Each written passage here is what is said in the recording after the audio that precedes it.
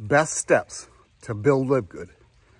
Hey, today I'm going to tell you exactly what I did to build Live Good and why I'm building Live Good.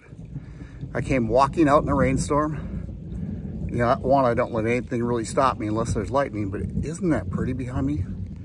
Unbelievable. I'm on a dock, so if I'm wobbling, that's because the dock's moving. But this is what I did. You know, I got an email from a buddy, a really good online marketer, and um, I didn't open it right away. In fact, I waited a week. It was my fault. I, I just, I, I wasn't ready to open it. And then I opened it, watched a five minute video, and I joined right now. And the reasons why I did. See, you can create wealth without doing anything. You know, you cannot enroll anybody, not buy anything, no auto ships, and you can make $2,047.50 each month.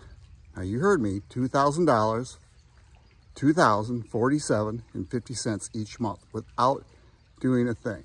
Now, I did do something, but the reason I joined was one, the person who enrolled me is a top marketer in the top 10 in the business. Person who enrolled him is a top community builder and building our team out. Person who enrolled him is number one or number two enroller.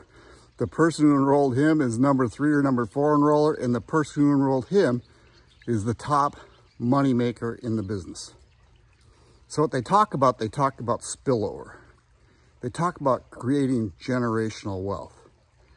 See, my wife and I, we live at a marina. I mean, nothing major. We live in, we call it an RV. It's really a park trailer. It's 38 feet.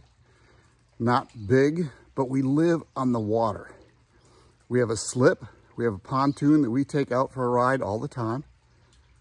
Now, people always think we're rich and famous. We're not, but we're very comfortable. So when I saw Live Good, I saw a way of creating wealth for my wife and I to travel wherever we wanted to travel. But I also saw a way to create generational wealth, meaning I give wealth to my kids if they have kids to their kids and so on and so forth to help change the world a little bit. So here's what I did. When I got started, you get a link for a video. So I went through my Gmail, all my contacts, and I just sent them a little email saying, hey, I'm starting something. I think you might have an interest in it. Would you watch this video? And I gave a link, and there's a way to put a link in a Gmail account. You first make a draft, pull a draft back up, and make the link, and they can click on it. Then what I did was start doing short form videos.